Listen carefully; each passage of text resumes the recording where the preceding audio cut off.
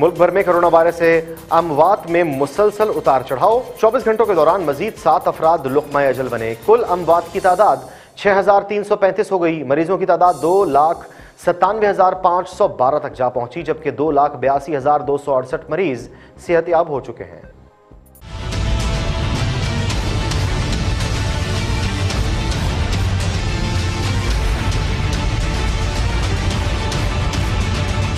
National command and operation centre के मुताबिक गुजशत 24 घंटों में कोरोना वबा के चार सौ अठानवे नए केसेस रिपोर्ट हुए हैं।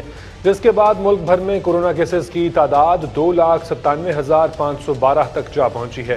फाल केसेस की तादाद आठ हज़ार नौ सौ नौ है और सेहतियाब होने वाले मरीजों की तादाद दो लाख बयासी हज़ार दो सौ अड़सठ है।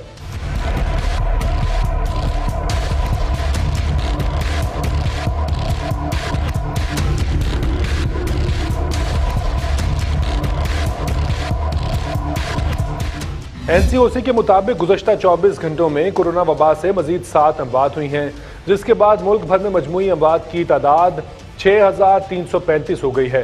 सिंध में कोरोना मरीजों की तादाद एक लाख तीस हज़ार इकतालीस हो गई है। पंजाब में सत्तानवे हज़ार चवालीस खबर पख्तूनखा में छत्तीस हज़ार चार सौ चौदह, बलोचिस्तान में तेरह हज़ार पैंतालीस, इस्लामाबाद में पंद्रह हज़ार सात सौ चौदह, आज़ाद जम्मू कश्मीर में दो हज़ार तीन सौ छः और गिलगित में दो हज़ार नौ सौ अड़तालीस केसेज रिपोर्ट हुए।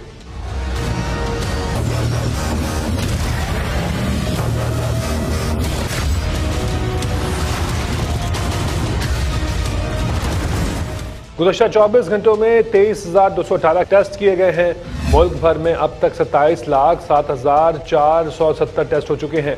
अस्पतालों में कोरोना वेंटिलेटर्स की तादाद अब एक हज़ार नौ सौ बीस है, जिनमें से एक हज़ार पचास मरीज़ वेंटिलेटर्स पर मौजूद हैं और सात सौ पैंतीस अस्पतालों में कोरोना मरीजों के लिए सहूलियात भी मौजूद हैं।